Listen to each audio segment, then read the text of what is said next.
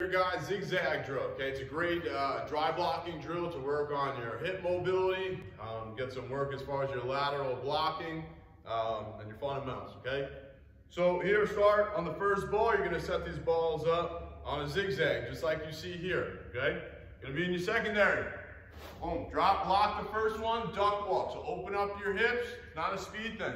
Here, glove first, working laterally, glove first, clearing every ball, duck walking over it. Okay, on the last one, you can block and recover if you want. There's tons of different variations, but as far as this drill, it's a great drill to do. Um, it will help you guys, again, with your fundamentals, and it takes nobody else to do it. Lateral blocking, hip mobility, duck walks, things like that. Things that are really good that can be done daily.